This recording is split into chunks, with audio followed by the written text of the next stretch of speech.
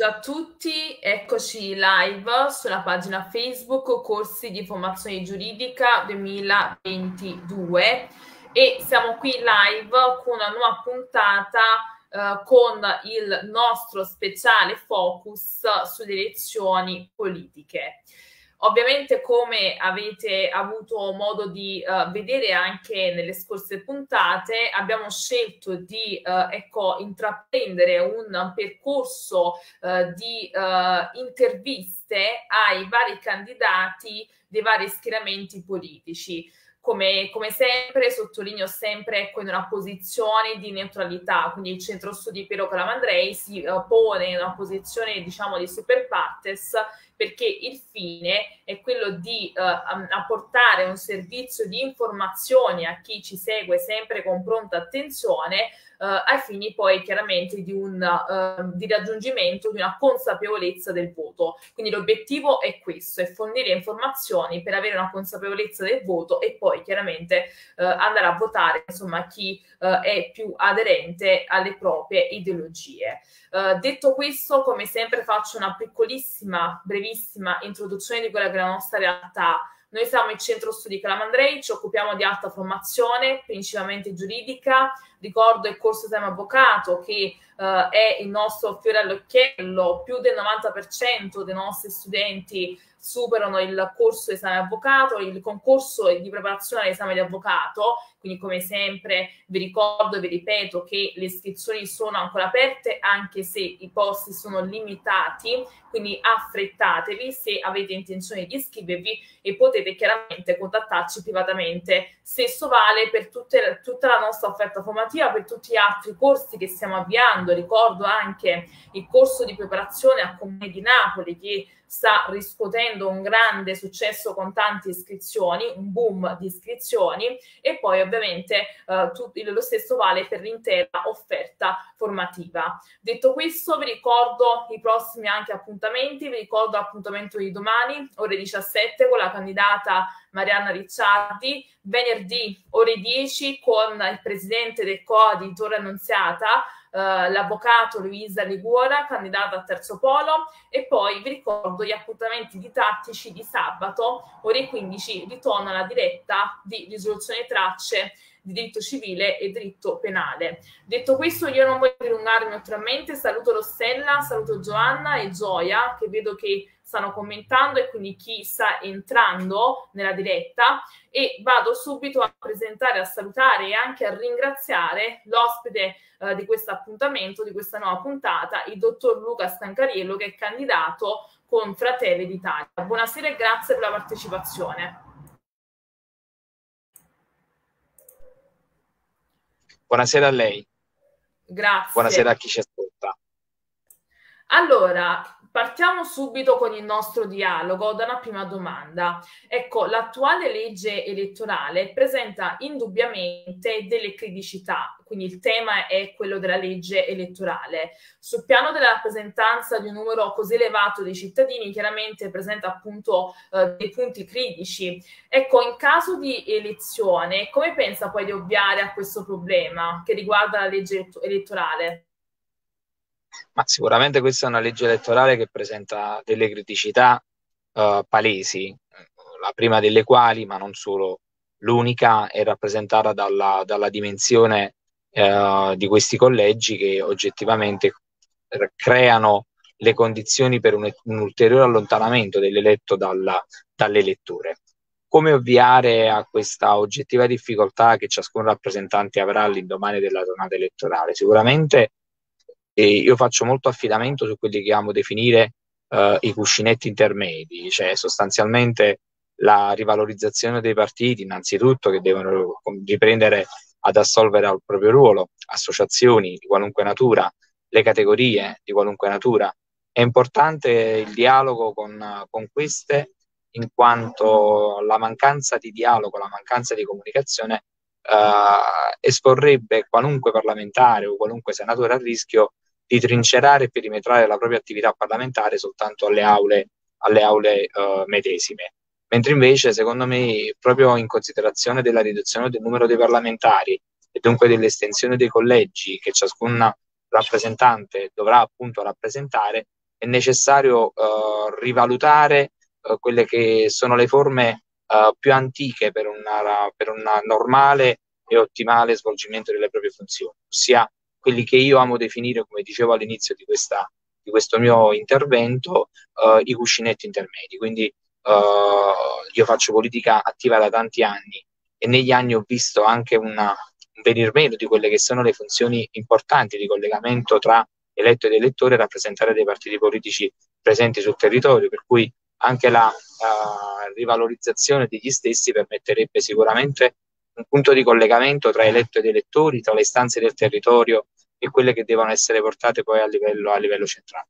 È ovvio che in tutto questo è importante poi avere un'interlocuzione aperta anche con quelle che sono le istituzioni locali, è importante che si venga a ripristinare quello che forse negli ultimi anni è mancato, no? soprattutto con la forte presenza dei 5 Stelle che si sono profondamente allontanati dai territori. È importante ripristinare il collegamento tra gli enti locali e le istituzioni centrali, quindi a prescindere dalla colorazione politica degli enti locali, è importante che ci sia questo continuo interfacciarsi per capire dal territorio quali sono le esigenze, quali sono le disponibilità che il parlamentare o il senatore può dare a questi territori perché la vastità del, dei collegi impone tutto ciò, altrimenti diventerebbe umanamente impossibile poter rappresentare in maniera dignitosa e seria uh, quasi 900.000 elettori, nel caso ad esempio del, del mio collegio, al Senato addirittura quasi uh, si raddoppia, poco meno di raddoppiarsi questo numero. Stiamo parlando di numeri veramente impressionanti rispetto al singolo eletto. Allora io credo molto che l'organizzazione sia alla base un po' di tutte le attività e l'organizzazione deve essere alla base anche dell'attività parlamentare di quel parlamentare che voglia fare appieno il proprio dovere. Chiara, molto chiara la sua posizione, ma andiamo avanti. Ecco, sempre in caso di elezione, quali uh, sarebbero le tematiche sulle quali vorrebbe concentrare poi la sua attività istituzionale?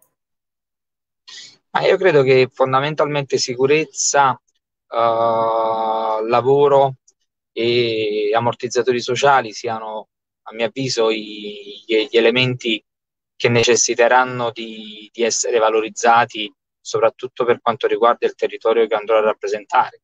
Avrei potuto anche estendere il concetto al problema, della, della, al problema legato al campo energetico o comunque al problema della, dell'inflazione galoppante che in questo periodo c'è. Però io penso che per quanto riguarda il territorio che andrò a rappresentare, il problema della sicurezza sicuramente rappresenterà una, una priorità. Noi abbiamo territori in cui oggettivamente la gente percepisce un clima di insicurezza anche semplicemente nel camminare per le nostre strade.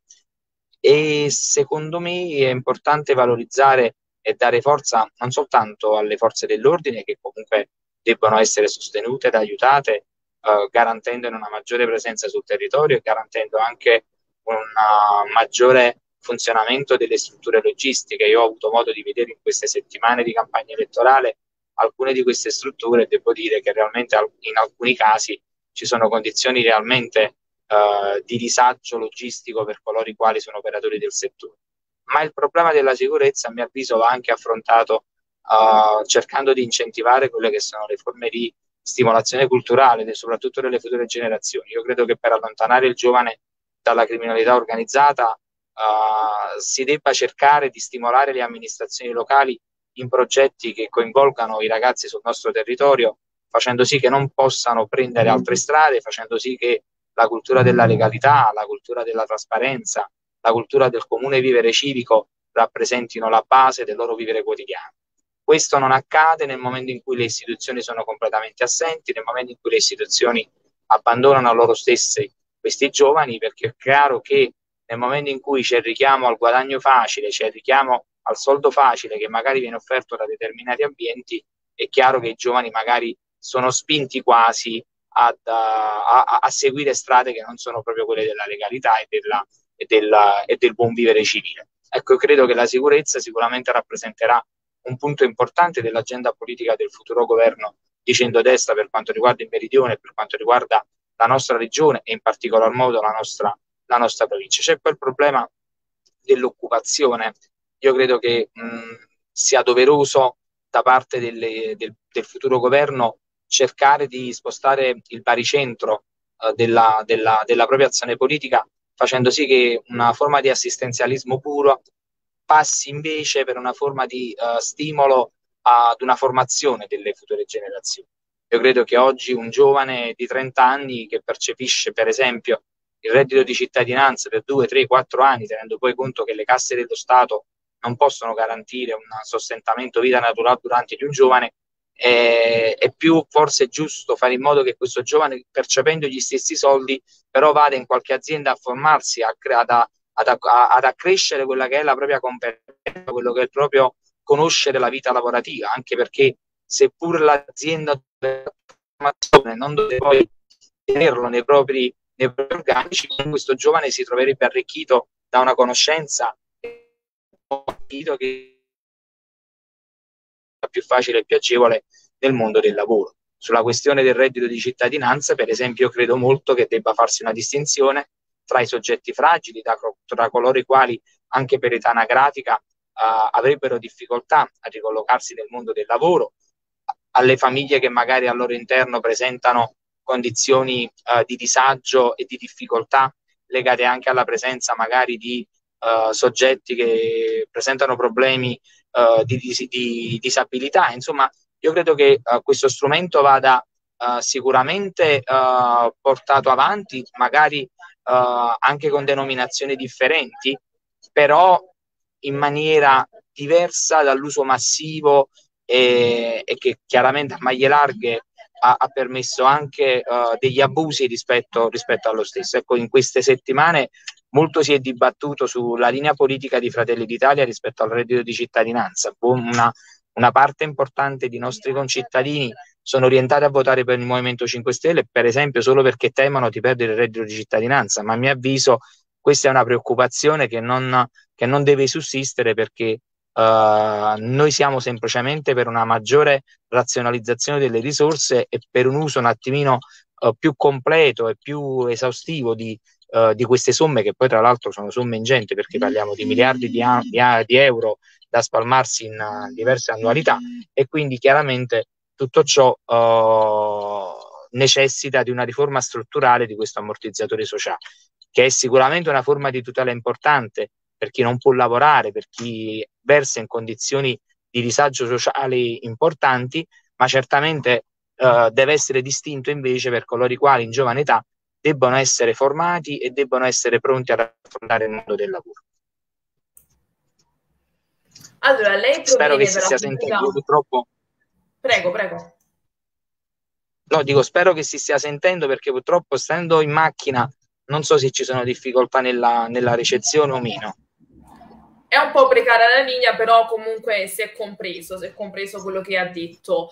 Allora, okay. lei proviene Perfetto. dalla pubblica amministrazione, di cui ne è anche funzionario. Ecco, il tema della pubblica amministrazione è un altro grande tema che ovviamente presenta delle sue gravi inefficienze. Ecco, come uh, pensa che si debba intervenire a uh, colmare poi fondamentalmente queste inefficienze che vanno a riversarsi poi in effetti sulla vita dei cittadini?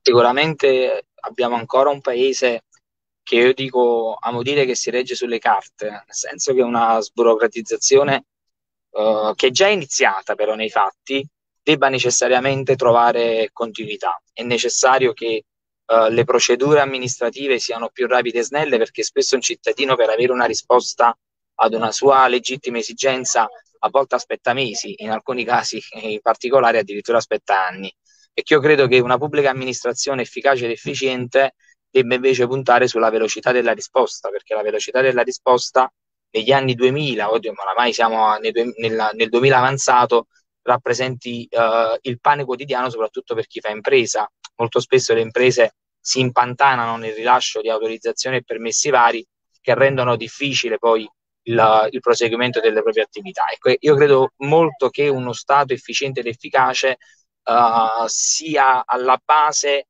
di, una, di, un paese, di un paese civile. È ovvio che la bacchetta magica non c'è, nel senso che noi veniamo comunque deritiremo una situazione piuttosto complicata per quanto riguarda la pubblica amministrazione che presenta delle falle al suo interno uh, piuttosto, piuttosto evidenti, no? basti pensare anche magari ai pensionati dipendenti pubblici che percepiscono la prima pensione dopo diversi mesi, oppure anche per le stesse questioni della reversibilità dei dipendenti pubblici rispetto alle quali pure ci sono oggettivi problemi. Quindi è una macchina questa che conosco bene perché ci lavoro, ci ho lavorato, quindi so bene quali sono le esigenze che la attanagliano, così come anche una, una, una riforma strutturale degli stessi ammortizzatori sociali, intesi come cassa integrazione ordinaria, straordinaria, cassa in deroga, che sono servite in maniera uh, esistenziale a molte aziende, soprattutto durante il periodo del Covid, però io credo che uh, piano piano, con la dovuta attenzione e con i dovuti tempi tecnici, questi strumenti debbano essere rivisitati proprio nell'ottica di cui parlavo prima,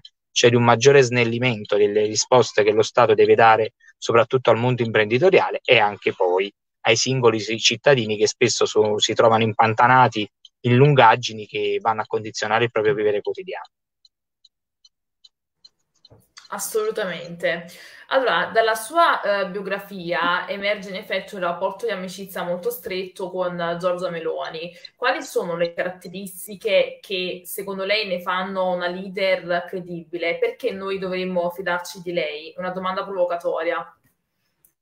La serietà e la coerenza che ha dimostrato anche in queste ultime due legislature, in particolare nell'ultima legislatura, ne abbiamo avuto veramente di tutto e di più al governo, giallo-russi, giallo-verdi, giallo-blu, non, oramai diciamo, era anche difficile individuare la colorazione dei governi che si succedevano. E nonostante le diverse chiamate a ricoprire incarichi di governo anche piuttosto importanti, la Meloni invece è eletta all'opposizione, anche se noi in realtà cinque anni fa le elezioni le avevamo vinte da un punto di vista elettorale, però è rimasta nei suoi banchi e nei suoi ruoli di opposizione, a momenti costruttiva, a momenti anche più rigida, ma io credo che il biglietto di visita uh, progetto politico di Fratelli d'Italia e del suo leader.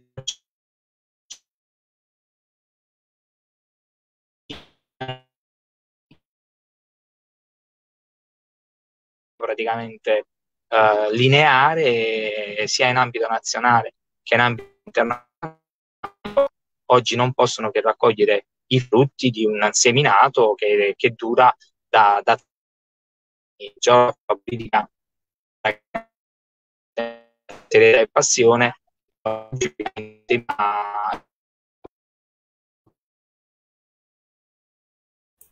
la connessione è un po' precaria però comunque abbiamo compreso sì, infatti credo la risposta relativa alla coerenza, sì. alla serietà, all'opposizione che comunque effettivamente in maniera oggettiva è stata sempre mantenuta con coerenza, quindi è chiaro il messaggio. Sì. Va bene, allora io la ringrazio per questo piacevole dialogo, per aver accettato appunto il nostro invito uh, e ovviamente faccio in bocca al lupo a lei per la sua candidatura, così come faccio con tutti i candidati e um, ringrazio tutti coloro che ci hanno seguito. Ovviamente, come sempre, faccio una piccola precisazione. Questa diretta sarà poi uh, trasmessa più volte sui nostri canali, quindi sulla nostra pagina Facebook, corsi di formazione giuridica 2022, quindi sarà riproposta anche in differita. Uh, sarà poi riproposta sul canale YouTube Centro Studi Pero Calamandrei, anche sul profilo Instagram Centro Studi Calamandrei quindi come sempre vi invito a seguirci su tutti i nostri canali. Grazie ancora per la partecipazione e buona giornata a tutti, a presto.